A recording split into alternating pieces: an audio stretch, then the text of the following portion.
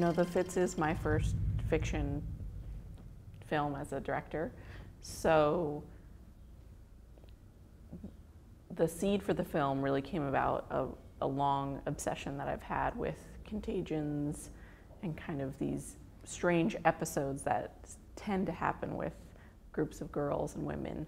Um, but I had had the privilege of working with New York City Ballet for about uh, now about five or six years, and had worked on um, some feature stuff, uh, some short form documentary, but I had been immersed in the dance world. And so the seed for the Fits was really trying to explore that theme of collective identity through a dance film, a non traditional dance film. And I knew that I wanted a lot of creative freedom in that space to direct. So um, we actually heard about this amazing program with the Venice Biennale um, that invites first and second time filmmakers to pitch um, and develop through their workshops. So we, we sought that out, and you know, from the beginning, we were trying to make a film that pushed us creatively and pushed the form creatively, um, but could also be contained both in terms of budget and, and timeline, which is kind of what that program entails. There's a lot of me in this movie. Uh, yeah, I co-wrote the fits with two other women, Saela Davis, who's my editor, and Lisa Kjerulff, who's my producer. And Toni, this 11 year old girl who's our protagonist, is kind of a conglomerate of all of us at that age. And through the process of writing the film, you know, our seed was definitely this phenomena. But um, through developing the film, we really wanted to tell a story about a girl we hadn't seen on screen before, which was kind of us at that age.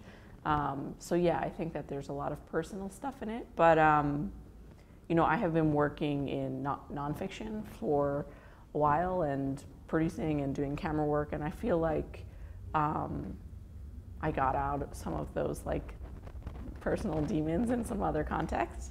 Um, and this, I really wanted to also play around with joy and levity and start to really create an arc that was complex about being human and maybe not so single noted. We really wanted, from the beginning, I had this very strange tone that I wanted to achieve. Um, we looked at a lot of genre pieces. Something like Let the Right One In, I think, is a great example where it's, it's, it's even it's more clearly a genre film than than the fits, um, but it's playing around within multiple genres and borrowing and trying to live in this in between space. Um, and that really excited me. Um, and you know, the fits has, I mean, I think adolescence kind of has an inherent kind of horror element to it, especially when you're talking about body horror. Um, there's another beautiful film in the section called Evolution um, that I think I didn't see till after we made the fits, but I think touches on some of those just fear of self um, that happens when you're growing up and kind of needing to face yourself for the first time. So we wanted to nod towards that, but the fits is so subjective. It's, I mean, it could be argued that it's it's an entire exercise in in, PO, in singular POV um, from this 11 year old's point of view. So really, that tone comes from her, from Toni. And I think that's why uh, it shifts because her relationship to the fits really grows and shifts. Um, it's terrifying, and then it's confusing, and then it's has this kind of psychological tension. Then it's kind of desirable, magical, like joyful. It it crosses through all of those because that's her personal experience with it. So we wanted to always stay from her point of view. Um, and that meant we needed to kind of look to different places. Um, but particularly with the score, um, you know, I wanted the audience to trust us. And I think we needed to let them know that we're going to a certain place um, and ease them into the pool in a way. Um, and that's kind of how the score developed. It was that something is wrong from the beginning of the film. Um, and we needed to tell our audience that we were bringing them into a darker place than they were seeing on screen, uh, so that by the time um, the, you know the iconic fits enter, they're ready for that journey.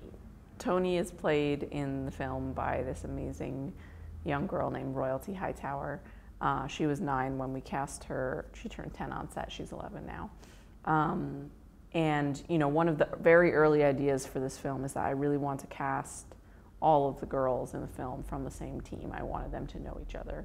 Um, and I felt like there was just a texture um, of knowing each other and that feeling of being on a team that we were trying to get at that is very hard to create with kids that age. Um, so we found this amazing team called the Q-Kidz. They're in Cincinnati, Ohio. We rewrote the script to fit uh, drill, the dance form that they dance, uh, and to be set in their community center. Um, and we opened casting to their team, and it was a couple hundred girls. And we saw royalty on day one, so she's been dancing with them since she was six.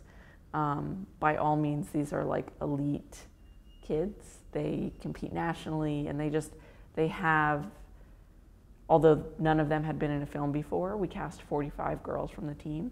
Um, they all have that kind of dedication and self awareness.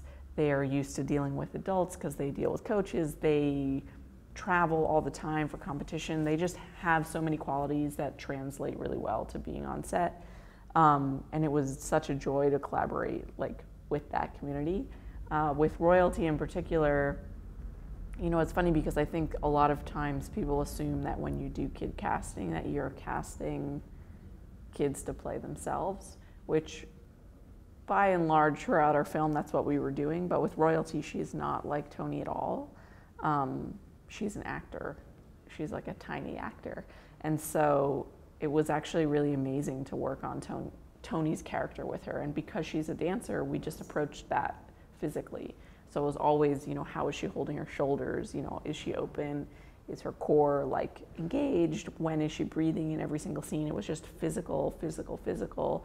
And we, we shot completely out of order. So there's a very delicate arc that Toni goes through. It's, Toni's a hard character, like in the script, there's almost no dialogue.